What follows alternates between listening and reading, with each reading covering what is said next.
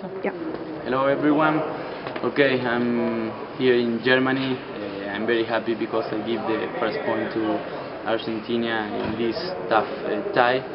Then David Nalbandian, the, he won the second point, so we are 2-0 ahead.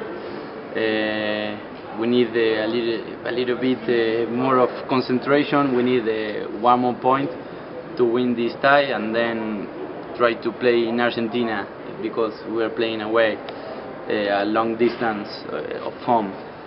And then uh, I want to say thank you to all the people that are sending messages all the time uh, through Twitter and Facebook and to my website. So thank you very much. Gracias. I hope you you enjoying uh, my game and Argentinian games.